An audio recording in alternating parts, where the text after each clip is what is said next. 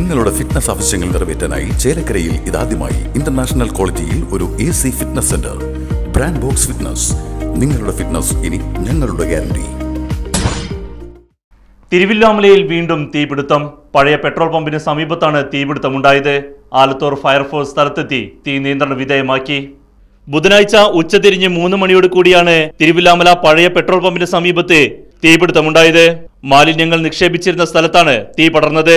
ശക്തമായ കാറ്റുമൂലം തീ ആളിപ്പടരുകയായിരുന്നു.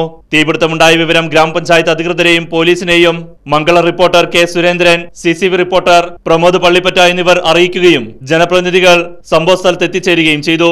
തുടർന്ന് ആലത്തൂർ ഫയർഫോഴ്സിനെ അറിയിക്കുകയും ഫയർഫോഴ്സ് സ്ഥലത്തെത്തി തീ നിയന്ത്രണ വിധേയമാക്കുകയുമായിരുന്നു.